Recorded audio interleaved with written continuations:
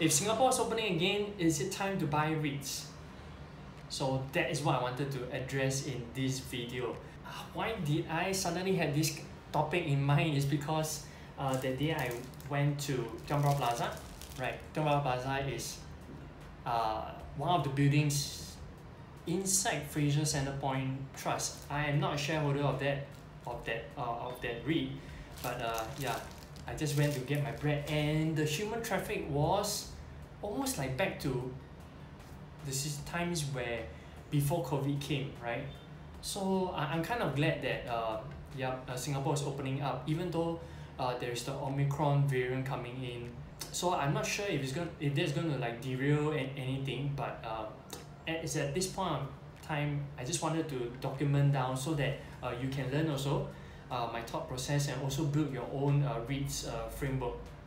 Okay, um, what happened exactly is um, yeah, Singapore opening up again. Would you buy REITs? And um, moreover, recent I think within the as at the point of time of recording, I think December the first I think the first week of December there were some uh, minor price move price movements downwards.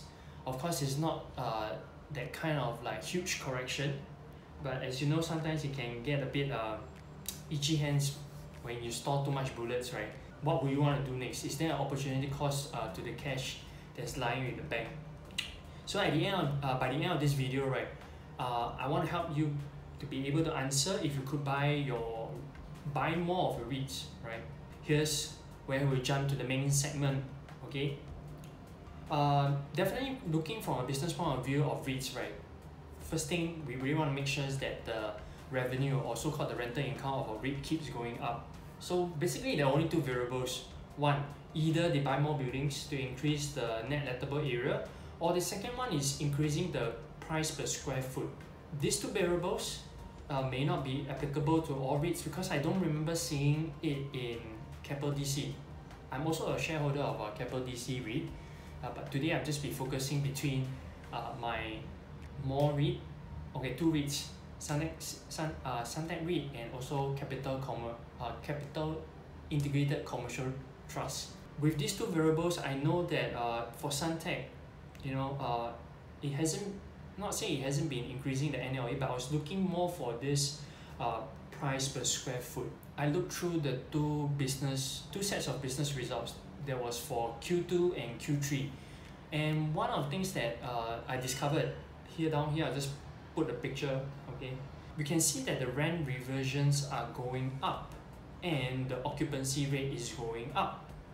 So if these two variables, uh, upward trends can address those two variables, net lettable area, which is amount of people, uh, amount of space being occupied, and the rent reversions allows us as investors to know that hey, uh, PSF is going up.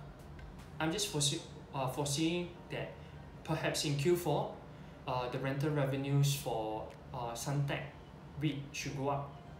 If you find that you find a similar situation uh, in your own REIT, probably consider monitoring uh, the business results for Q4.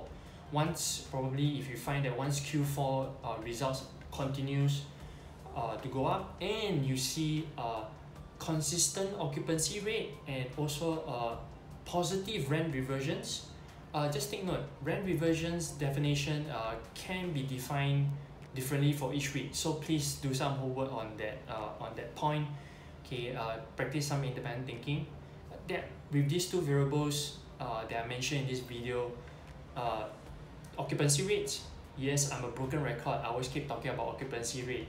The second one is the rent re uh, rent reversions. Is it going upwards?